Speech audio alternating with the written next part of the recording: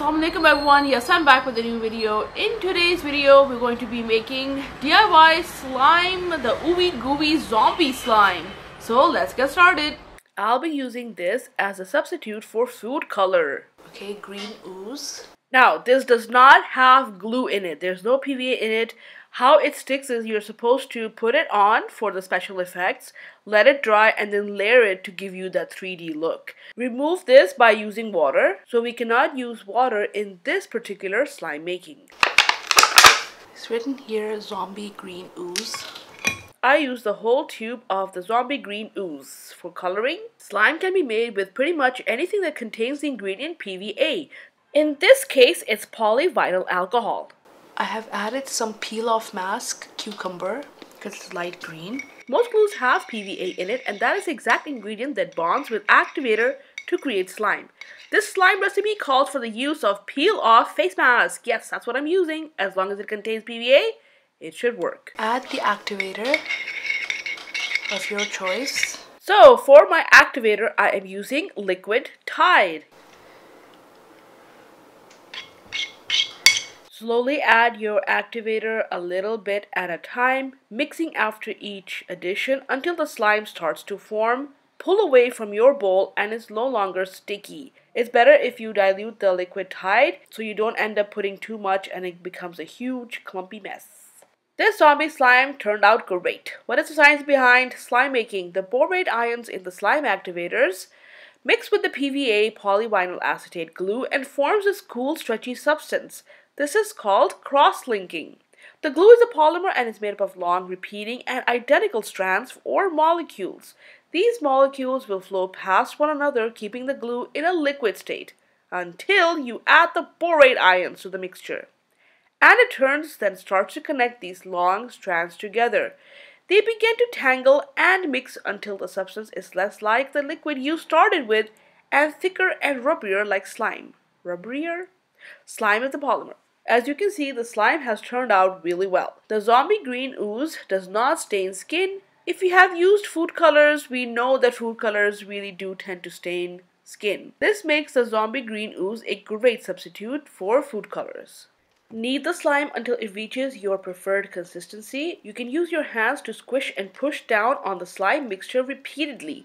Keep kneading the slime for several minutes until the consistency is exactly how you want it. The slime will have a few air bubbles in at this point, which is totally normal, no need to freak out. look how glossy it is. Very stretchy.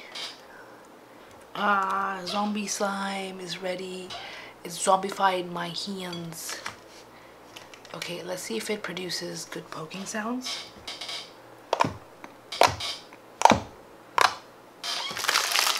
Look what I found. These are these are super cute. Aren't these cute?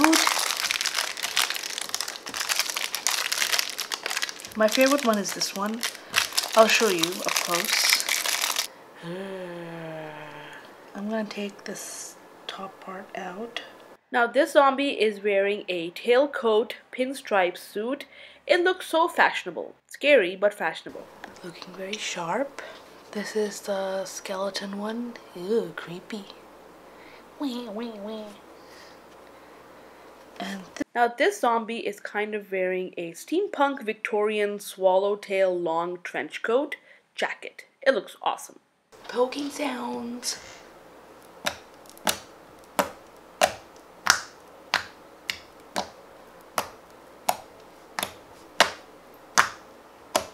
Let's place our first fashionable zombie in the slime.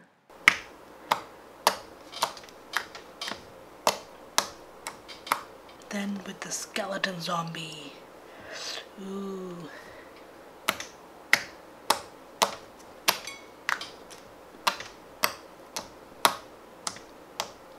Now our last fashionable pinstripe tail-coated zombie goes in.